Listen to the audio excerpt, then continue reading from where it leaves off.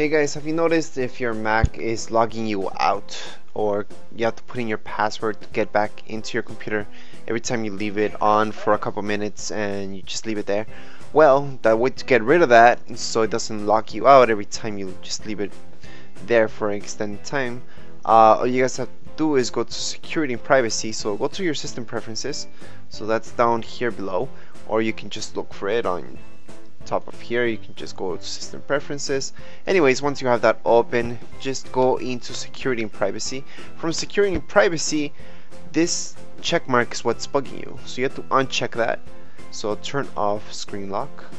And there you go. So once you uncheck this it will not require password um, after 5 minutes after sleep or screensaver begins. So if you guys don't like that then take that off and you guys will be good um, besides that there's the disable automatic login which you can do.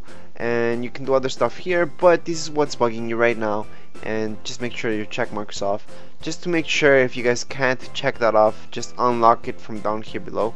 Put in your password and just unlock. Okay. And make sure to once you check that off just lock it back in and there you are. That's it for this tutorial. Anyways, if you guys have any questions, comments, you can write them below. And don't forget to subscribe and rate. Thank you.